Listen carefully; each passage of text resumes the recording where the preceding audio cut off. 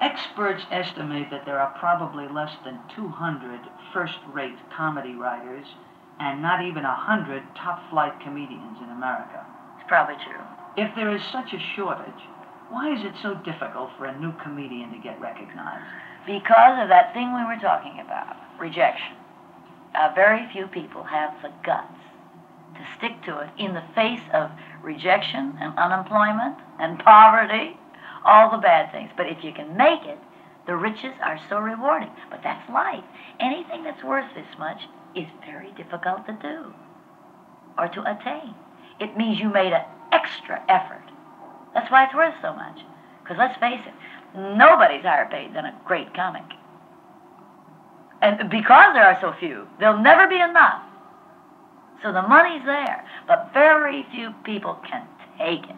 And believe me, till you're there, you take it. I once wrote a line, and I love it. I got to lay it on you. Somebody says, well, "How did you do it?" You know, now you're up the ladder, and I say, "I ate." Shit. And then the tag is, I still take a spoonful a day for fear I lose my taste for it. You got that means you got to stay humble. How, how can I put that in the book? I don't know. Just Go I ahead, I dare you. Why I- not? Have you seen Virginia Woolf? Yes.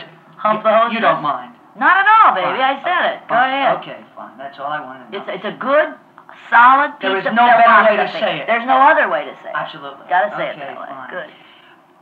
Other than what you said before, Phyllis, uh, the answer to this question, why are there so few women comedians?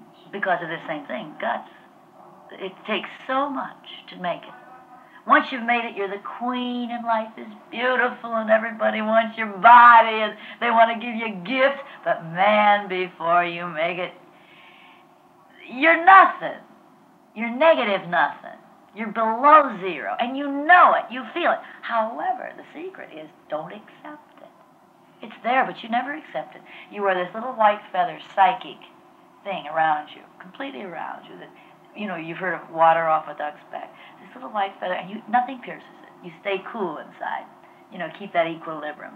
Stay calm, cool, knowing how great it's going to be. That's the way it's done.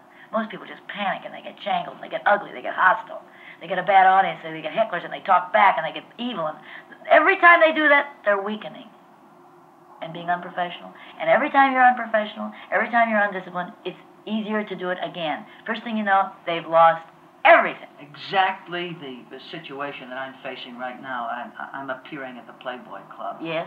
Oh boy, that's the worst, roughest, the worst, roughest. I do a spotlessly clean act, which I have developed That's and worked. That's wonderful, because then you can go on Well, television and become right. great.